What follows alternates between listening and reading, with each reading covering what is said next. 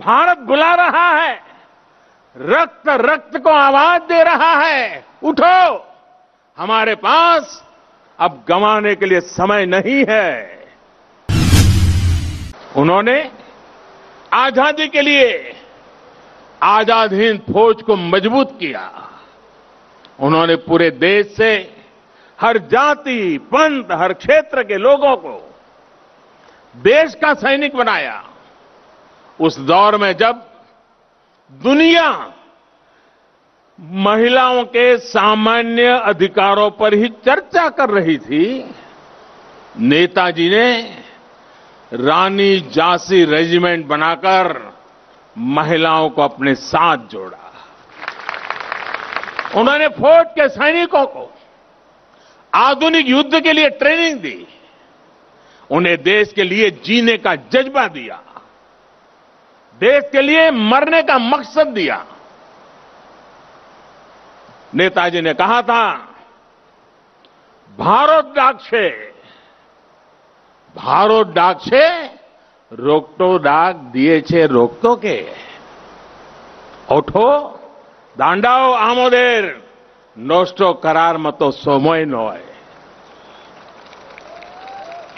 अर्थात भारत बुला रहा है रक्त रक्त को आवाज़ दे रहा है। उठो।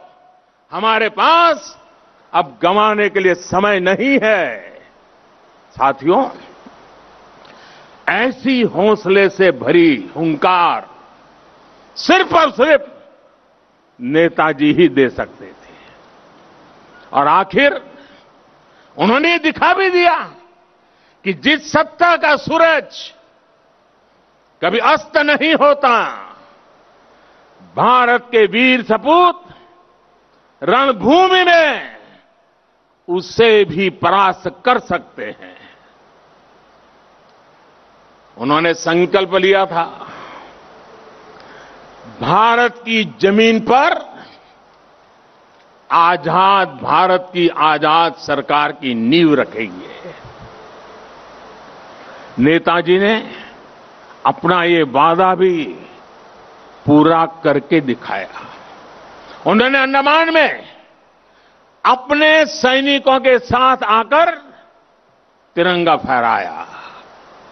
जिस जगह अंग्रेज़ देश के स्वतंत्रता सेनानियों को यातनाएँ देते थे, काला पानी की सजा देते थे, उस जगह जाकर उन्होंने सेनानियों को अपनी श्रद्धांजलि दी थी। वो सरकार, अखंड भारत की पहली आज़ाद सरकार थी। नेताजी, अखंड भारत की आज़ाद हिंद सरकार के पहले मुखिया थे।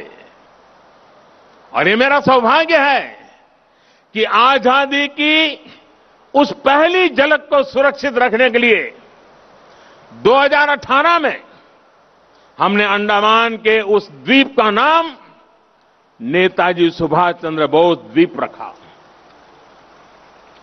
देश की भावना को समझते हुए नेताजी से जुड़ी फाइलें भी हमारी सरकार ने सार्वजनिक की। ये हमारी ही सरकार का सौभाग्य रहा। जो 26 जनवरी की परेड के दौरान आईएनए वेटरन्स परेड में शामिल हुए थे। आज यहाँ, इस कार्यक्रम में, आज़ाद हिंद फौज में रहे देश के वीर बेटे और बेटी भी उपस्थित है। मैं आपको फिर से प्रणाम करता हूँ।